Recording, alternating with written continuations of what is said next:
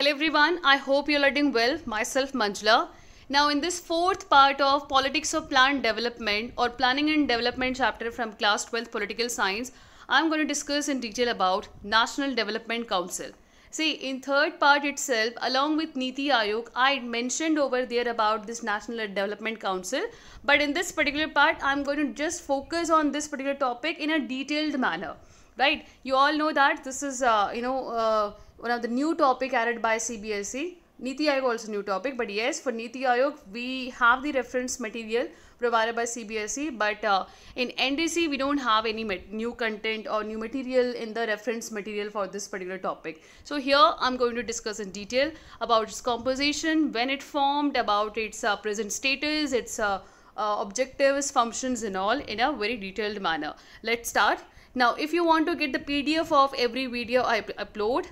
you can uh, get it from telegram channel.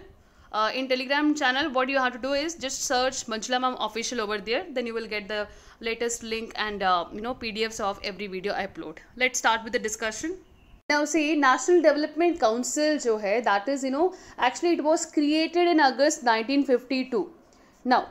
recommend kiya tha like who suggested that this kind of body we should have you know that was created on the recommendation of first five year plan okay? Although now we don't have this five year plan of uh, like concept total 12 five year plans they and that was actually you know uh, done by this uh, planning commission. Now we don't have planning commission at present. We have now niti aayog. So basically on the recommendation of first five year plan जो first five year plan का draft जो था, उसमें recommend किया था that you know national development council जैसे एक body होना चाहिए। So on that basis this national development council was you know created in August nineteen fifty two through executive resolution mark it clearly it's a simple executive resolution के through government जो executive body है, उसने एक resolution resolution के through basically इस body को create किया। Right? ये बॉडी एक एग्जिस्टेंस में आया था। Now see, इसीलिए हम इसको कहते हैं it is neither a constitutional nor a statutory body, okay? देखो कॉन्स्टिट्यूशनल बॉडीज वो होते हैं जिनके बारे में कहीं ना कहीं, कोई ना कोई आर्टिकल कॉन्स्टिट्यूशन में एग्जिस्ट करेगा। For example election commission of India okay election commission of India उसके बारे में आपको डिटेल्स आर्टिकल 324 कॉन्स्टिट्यूशन में मिल जाएगा। Hence we call this election commission of India it is a constitutional body okay because उसके लिए एक आर्टिकल एग्जिस्ट करता है एंड स्टैटूटरी बॉडीज वो होते हैं वी नो ऐसे बॉडीज़ बेसिकली जो पार्लियामेंट में कोई बिल प्रेजेंट हुआ हो उसके थ्रू वहाँ पर डिस्कशन हुआ वो बिल पास हुआ उसके बाद प्रेसिडेंट के साइन के बाद वो एक्ट में ट्रांसफॉर्म हुआ and then a body came into existence through that act उसको हम कहेंगे स्टैटूटरी बॉडी नाउ एग्ज़ाम्पल कौन सा है this one national human rights commission ये जो N N H R C this is basically a statutory body because 1993 में ये इस्टेब्लिश हुआ था एंड 1993 में कैसे इस्टेब्लिश हुआ था? Through protection of human rights act protection of human rights act उसके थ्रू जो वो एक्ट बना, उस एक्ट के बेसिस पे ये that this national human rights commission जो था, इसको एस्टैब्लिश किया था राइट right? तो यहाँ पर एनडीसी जो है, ना ही ये पार्लियामेंट में कोई एक्ट के पास होकर उसके बाद इस्टेब्लिश हुआ, नो। no. और ना ही एक कॉन्स्टिट्यूशन में कोई आर्टिकल एग्जिस्ट करता है। इसीलिए हम इसको कहते हैं it is you know neither constitutional and nor statutory bodies कहते हैं बॉडी कहते हैं इसे okay and another way you can see that it is extra constitutional body right so you can expect you know question like one in one marks that ndc जो है कि, किस तरह का body है it is what type of body is this one it is constitutional body statutory body which one so in there you can write this one that it is neither constitutional nor statutory body or you can mention there it is you know uh, it is an extra constitutional body uh, created by simple resolution right? So you can uh, i mean mention all these things over there. Depending upon the question the way you the question you are getting okay अच्छा देखो इसको create क्यों किया था it was basically an advisory body for the planning commission आज के time में planning commission नहीं है आज के time in place of planning commission we have NITI Aayog so, एक एडवाइजरी बॉडी की तरह से क्रिएट किया था और ये रिकमेंड करता है बेसिकली रिकमेंडेशन किसको करता है it recommends to the centre and state governments और इसके रिकमेंडेशन जो होते हैं they are non binding in nature mark it clearly non binding it is not compulsion कि ये जो बॉडी अपना रिकमेंडेशन uh, अगर वो रिकमेंड करता है तो then you know it's a compulsion on the state and central government they have to follow no it is non binding right and of course since यहाँ पर जो नेशनल डेवलपमेंट काउंसिल ने बहुत ही ज़्यादा हाई लेवल सारे मेंबर्स होते तो it's you know it's very difficult to ignore their recommendation although it is non binding but yes at the same time it is difficult to ignore because बहुत ज़्यादा सुपीरियर लीडर्स यहाँ पर होते हैं। We will discuss that in the composition now and national development council को क्या करना होता है you know twice in a year they have to meet okay और इनकी जो लास्ट मीटिंग जो होती है that was you know held in two thousand twelve and that was the fifty seventh meeting और उस मीटिंग में क्या हुआ? बेसिकली उस टाइम जो twelfth five year plan that was the last five year plan उसको उन्होंने अप्रूव किया था okay and twelfth five year plan का टाइप पीरियड देखना। This is from 2000 uh, this was from 2012 to 2017 okay and 2016 में uh, बहुत ज़्यादा like reports आए थे that you know that the present government is actually going to abolish this N D C ये abolish करके और इनके पास जो भी पावर है that you know they plan that they should transfer them to the governing council of NITI Aayog देखो NDC में जो मेंबर्स है, जो उसके कॉम्पोजिशन है, और जो governing council of NITI Aayog की जो गव उसको किस तरीके से गवर्न करना चाहिए, वो जो काउंसिल है उसमें जो मेंबर्स है उसके कॉम्पोजिशन से ऑलमोस्ट सिमिलर है। So you know the present government felt that there is you know no sense of keeping this body hence they decided कि ये गवर्निंग काउंसिल को ये पावर ट्रांसफ़र कर देते हैं जो भी एनडीसी के पास है। And this governing council actually you know govern this NITI Aayog. ये लाइक like, डिसाइड हुआ था and reports came at that time but yes even today ऐसा कोई ऐसा रेजोल्यूशन पास नहीं हुआ तो अभी हम यही मान के चलेंगे एनडीसी एग्जिस्टेंस में है। बट येस उसके कोई मीटिंग्स 2012 के बाद कभी नहीं हुआ। So you can say that you know उसका कोई रेलेवेंस नहीं रहा आज के टाइम पे। But yes body still there now see this one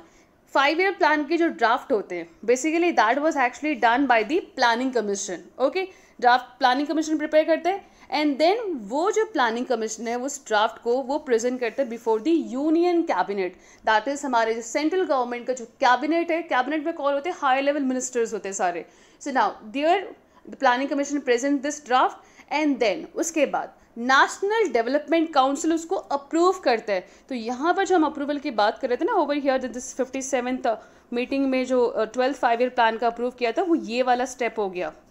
right so it approves that five year plan and then उसके अप्रूवल के बाद ये जाता है उसके बाद to the parliament and then parliament you know uh, uh, takes that final decision everything okay so this is the process so you can see here parliament के बाद जो second highest level of body जो है that is this national development council and uh, if we do the comparison with planning commission तो planning commission से ज़्यादा superior है NDC clear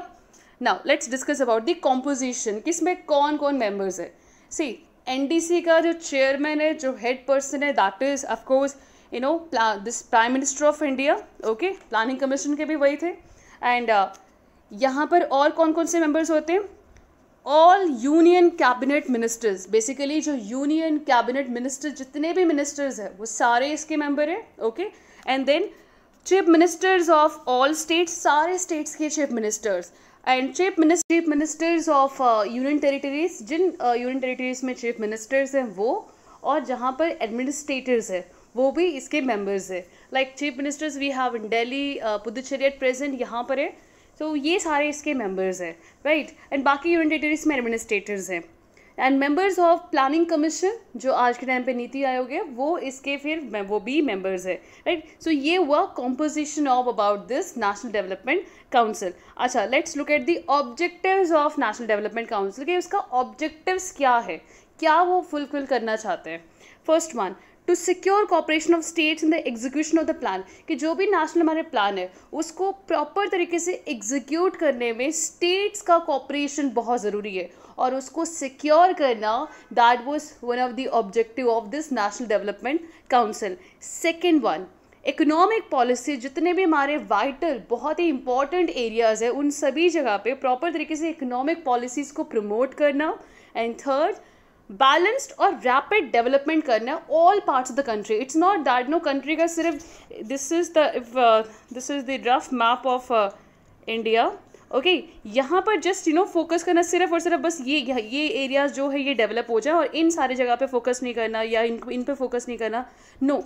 हमारे कंट्री के सारे पार्ट्स के बैलेंस तरीके से रैपिडली हर जगह का, हर एरिया का प्रॉपर तरीके से वहाँ पर डेवलपमेंट को इंश्योर करना that is the third objective of this N D C okay fourth one